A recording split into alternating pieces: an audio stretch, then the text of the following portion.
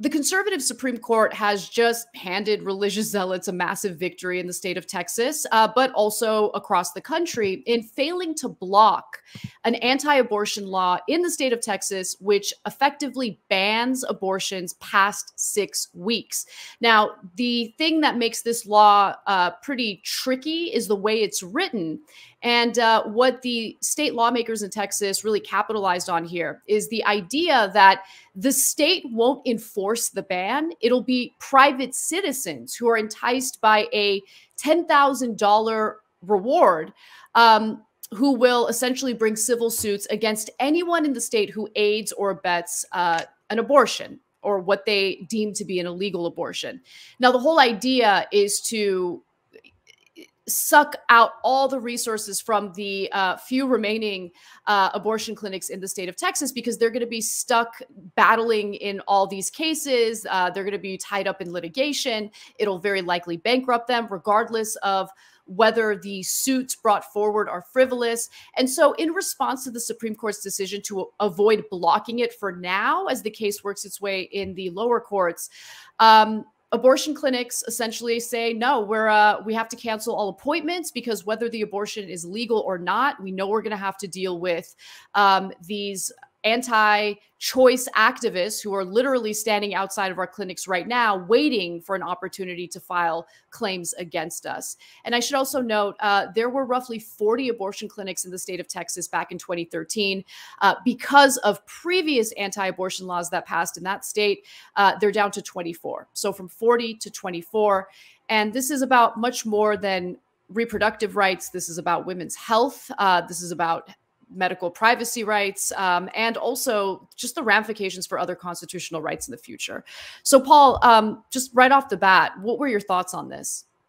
I mean, it, it's incredible, and, and it really kind of speaks to like how it's easy, or at least for me, sometimes to become become complacent about certain rights that we've won. And you know, it's like, of course, I've I've known that you know, in certain states, abortion rights are under more attack than others, are more vulnerable. But you kind of reach a point where, like, you know, there's no way they could go that far, right? There's no way we could ever overturn Roe v. Wade, and it just really, which we haven't totally done yet, but I mean that kind of seems like this is like a path towards that.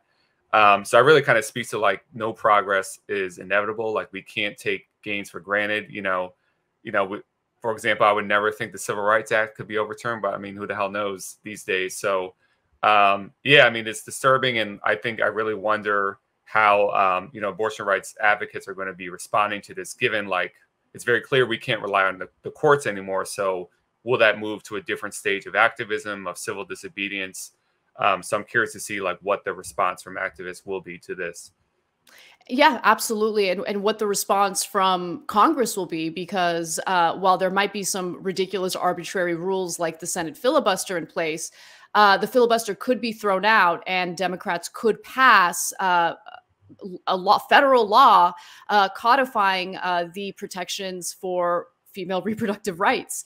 Um, but the question is, do they have the willingness to do that? And uh, we'll ask David Sirota about it during our interview segment today.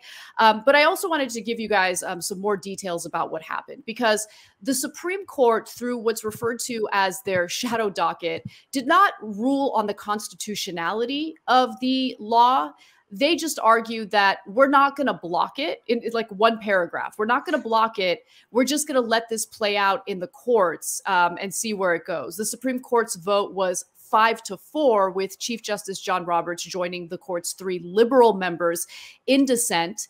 And also, uh, just to be clear, the majority opinion was unsigned and consisted of a single long paragraph. It said the abortion providers who had challenged the law in an emergency application to the court had not made their uh, case in the face of complex and novel procedural questions. The majority stressed that it was not ruling on the constitutionality of the Texas law and did not mean to limit procedurally proper challenges to it. Except, I mean, they they certainly did do that. And justice sonia sotomayor uh, you know responded. Every liberal justice wrote their own dissent. Uh, she argues that the court's order is stunning presented with an application to enjoin a flagrantly unconstitutional law engineered to prohibit women from exercising their constitutional rights and evade judicial scrutiny, a majority of justices have opted to bury their heads in the sand. The court has rewarded the state's effort to delay federal review of a plainly unconstitutional statute enacted in disregard of the court's precedents through procedural entanglements of the state's own creation the court should not be so content to ignore its constitutional obligations to protect not only the rights of women, but also the sanctity of its precedents and of the rule of law.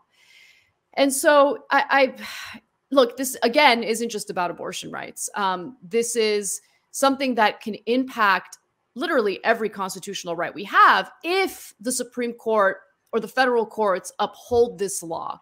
Because if the state can say, well, I mean, if the state engaged in the enforcement, then we would be, you know, violating constitutional rights. If private citizens are doing the enforcement, then no constitutional rights have been violated. Like that's the argument they're using, and that could apply to anything. By the way, right. including to uh, Republican priorities. And in a way, it's like I won't. I almost don't know what is scarier, like the state coming in and enforcing it, or just empowering citizens to like do it for them. I mean, both are obviously very scary, but it. I don't even know to say what's scarier. And I think this is kind of like a broader dilemma we face on the left of how much do we focus on these political institutions like the Supreme Court and the Senate, which we know in many ways are like inherently hostile to us. Their procedures are set up to block progress. So on the one hand, you know, I kind of sympathize with we shouldn't waste our time worrying about every Supreme Court appointment and all this sort of thing. But on the other hand, the right wing over the long term has worried about these things. They've made sure they have their people in place um, to do these things. So you know, and, and this this situation is an example of like these things actually do matter. Um, but it's a hard balance. Like I don't have an easy answer because I think there's a danger of us getting lost in the sauce of like analyzing everything about the Supreme Court or every appointment. But at the same time, we just can't ignore it, and it does matter. Yeah, I think what the right wing in America has, other than funding, that the left yeah, that does not yeah. have, is the willingness to engage and coalesce around these long term projects um, there's a lot of division in the left right now regarding, um, you know, the long-term projects that really we need because there are no shortcuts. So, you know, people look at the idea of organizing and empowering labor as like something that's just going to take too long. We don't have time, and I get that. But really, I mean, what other option is there? I mean, we could look at the successful case study on the right and maybe utilize some of their tactics. Although I do also admit that the left has certain disadvantages that the right wing does not have, including the issue of funding and all of that. Yeah. Um, but at the same time, I think that, you know, only relying on electoral strategy or only relying on theater or like, I don't know, poorly organized boycotts and things like that, it's not going to get us anywhere. And I think we've right. kind of seen that. And the problem, and hopefully I'm not preempting you here. I know there's a tweet from Sirota about what the Democrats could do about this, but the problem also for us is that those that are on our side, kind of that are in power, that do have power, are not using it. So, like, you know, we we do have Democrats do have a majority in Congress. There are certain things they can do, and are not doing it. And then to me, that fuels this very dangerous cycle of like they're doing that. So then it's like, why should we care about our institutions? Mm-hmm. Why should we be voting if if the whole idea is premised on these people have power to do things and they're not going to do it, why should we care? Um, so there's no easy answer. I mean, it's just a really big dilemma that you know we we try to fall in line when we're supposed to. Let's elect Biden. Let's get a Democratic majority, and then we're not seeing the action that they can take you know? Mm-hmm, mm-hmm. yeah and I, am really looking forward to having that conversation um, with Sirota. Um, i do want to know what uh, the progressive lawmakers in the house are planning to do in regard to you know withholding their vote in, in a specific circumstance where it makes a lot of sense to do so if you enjoyed this video from Jacobin Weekends, please hit like and subscribe. That way, you'll enjoy all of our backlog as well as all of our future content, including interviews, live streams, and clips. Thank you.